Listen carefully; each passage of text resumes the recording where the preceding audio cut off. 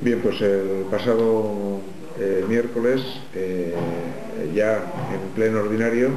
se incorporó eh, Manolo Martín, que llevaba ya pues prácticamente año y medio sin tener una actividad directa a nivel político en el Ayuntamiento de Segorbe, como causa de este infarto cerebral que bueno, pues lo ha tenido, digamos, con una dolencia durante este tiempo. Aunque Manolo sigue su tratamiento de recuperación,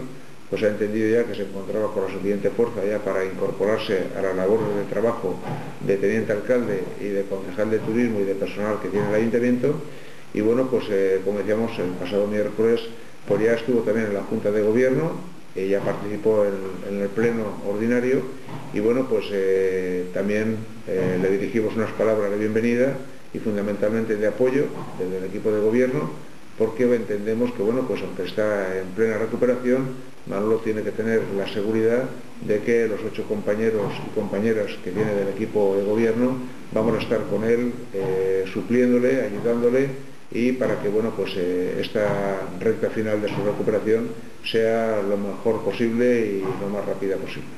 Como concejal de turismo estará presente en la recogida del premio Cosillo.